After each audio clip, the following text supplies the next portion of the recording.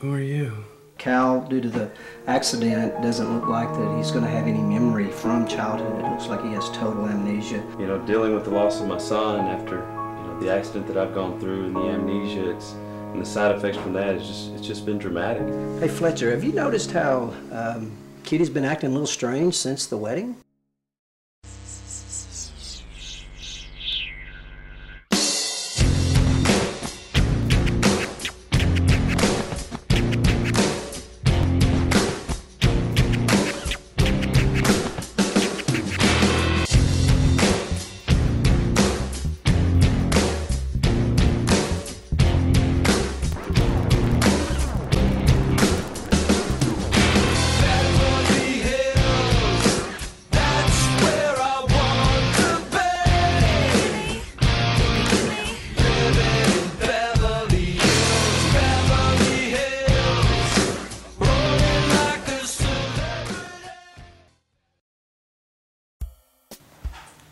So, Dad, I've been thinking like this whole wedding thing, you know? Well, you probably don't remember, but Fletcher and I used to date, and he is getting married this weekend to Hope.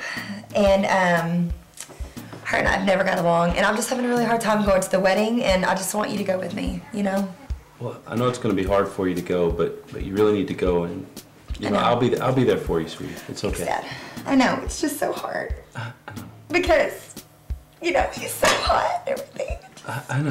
You And he treated me so good, and I just don't think I'll ever find anyone that does that again. I know, I know, honey. It's gonna be okay. Hey, Kitty. Come here for a second, hon. Come sit down. I ask you something. I've been really concerned about you. I mean, something's up. You're just, you're acting really different, and I know this wedding's stressing you out, but there's something more to it than this. Oh, honey, I'm fine.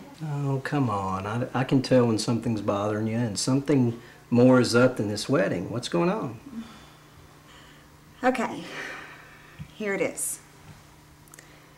You know, a long time ago, before I met you, you know, I, I was with Cal, Mm-hmm. and that was the time that you and I just got together. Right. And then, just a couple of months later, I found out that I was pregnant with Hope. Mm-hmm. Honey, Hope may not be your child. Excuse me? Well, honey, I mean, there was that one time with Cal, and you know, then you and I met and we fell in love, and and I, I mean, I didn't know what to say, and Just hold on a second. Are you trying to tell me that our daughter that I've raised may be another man's child? yes, Can't believe you. You kept this from me for what, 20 years or something? I mean, look, it was a long time ago, and I didn't know what else to do. Okay, you love Hope, Hope loves her daddy, and it was a long time ago. And Cal, he has amnesia. He doesn't even know, and it's it's Hope's wedding, and so I mean, we just got to go on with it, and we can't tell her. It will ruin everything. Honey, you got to promise me not to say anything. you know, I, I'll go along with it for now. I mean, right before the wedding, you drop this on me, give me a break.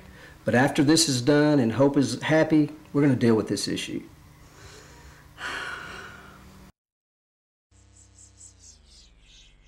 Oh my gosh, you look perfect.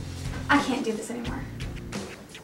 Is it just cold feet or what's the problem? Ever since Giovanni's death, I've been in mourning. It was before Fletcher, but we used to have a thing, and I just can't get over him.